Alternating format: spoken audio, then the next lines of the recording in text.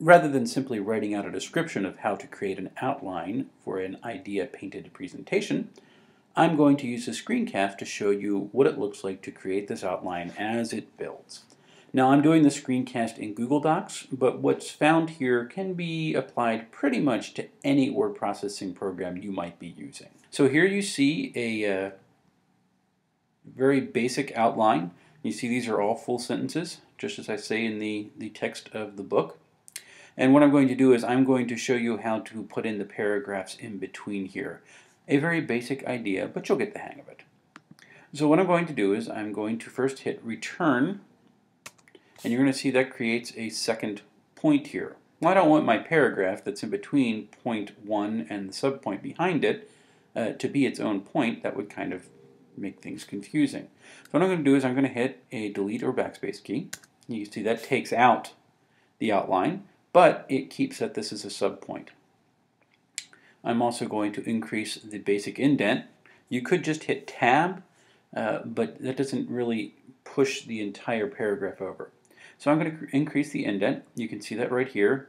Um, this icon look is pretty much universal. Anytime you see a little triangle there to next to text and it's pointing towards the right, that's going to increase the indent. Same thing for decrease. Triangle is going to be pointing to the left.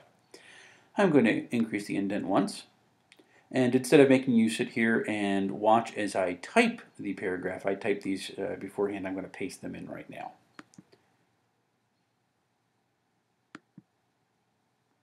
And so there's the first paragraph that's in the outline.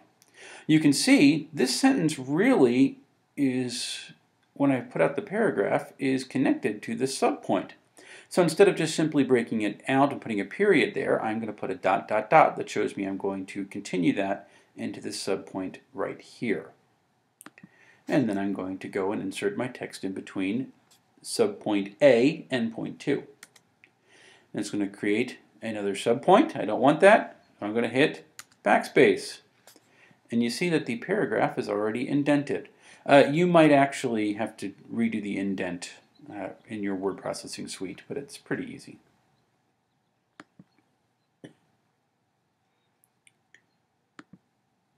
There's my second paragraph in between subpoint A and point 2.